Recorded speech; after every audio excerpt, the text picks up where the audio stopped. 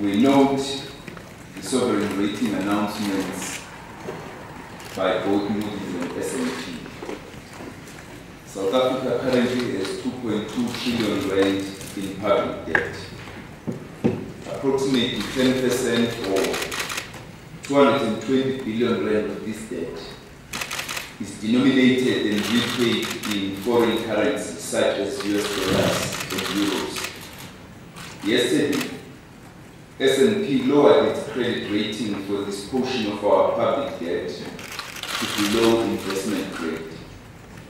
Our rand-denominated debt, which constitutes 90% of the debt portfolio, remains investment grade rated. Moody's, which continues to rate government debt two notches above sub-investment grade, has indicated their intention to review the rating.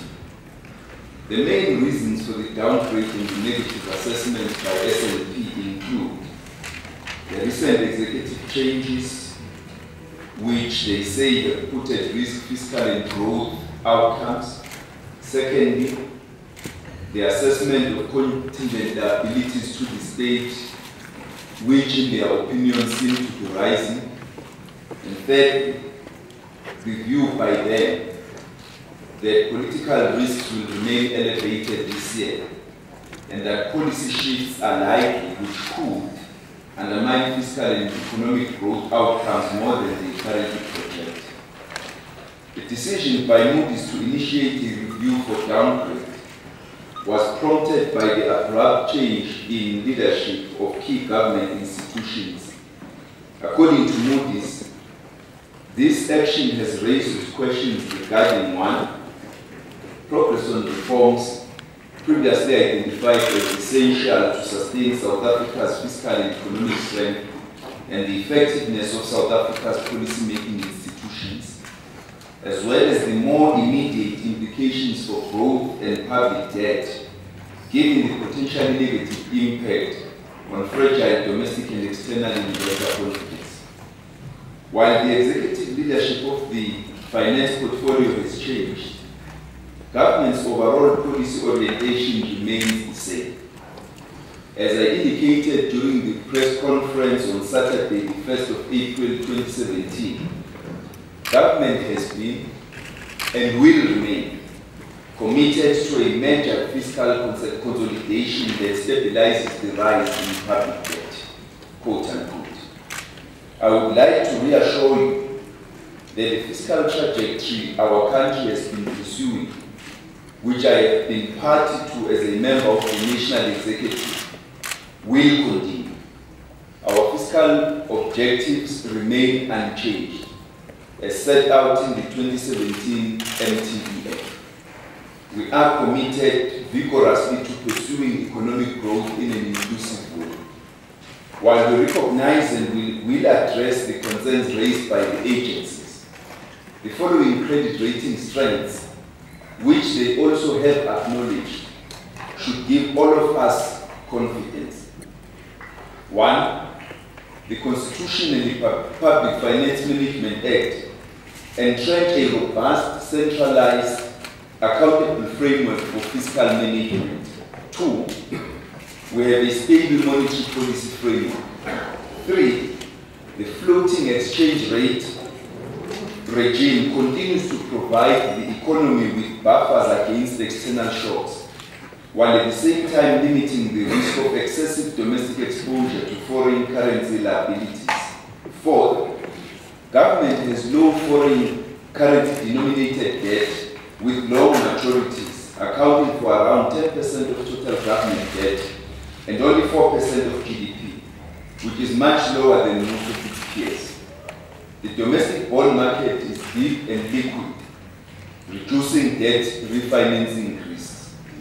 Loans and guarantees by subnational government are limited and subject to national legislation.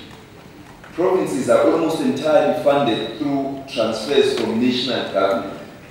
Borrowing by local governments is capped and limited to major metros with significant re revenue-raising powers. Fifth, the fiscal framework is underpinned by credible macro-fiscal forecasts. We have an efficient tax collection capability. Despite new spending pressures, government has maintained the expenditure ceiling. Six, the National Treasury's long-term model suggests that existing core social spending priorities, such as education, health, and social grants, are sustainable over the coming decade. In addition, the government employee pension fund is well funded. Seven, South Africa's exports are increasing, particularly to Asia and Europe. Increasing foreign investments by South African companies are resulting in higher dividends from their offshore investments. Therefore, the deficit on the current account of the balance of payments improved from 5.3% of GDP in the first quarter of 2016 to 3.1% of GDP in the second quarter of 2016. A. The banking system is strong and well regulated, with capital adequacy ratios well above the minimum regulatory capital, capital requirement of 15% and 9. We are resolved, we've resolved the energy challenge in the short term and now we have sufficient electricity supply for current demand. Going forward, we will be devote, devoting significant energy to engaging with business leaders, organized labor, investments, rating agencies, and other opinion makers domestically and internationally to highlight the positives of our economy and growth prospects. Furthermore, we will act with urgency to accelerate inclusive growth and development so that we can reverse the triple challenges of poverty, unemployment, and inequality. Ultimately, what these credit rating reviews highlight is that we need to reignite our nation's growth engine.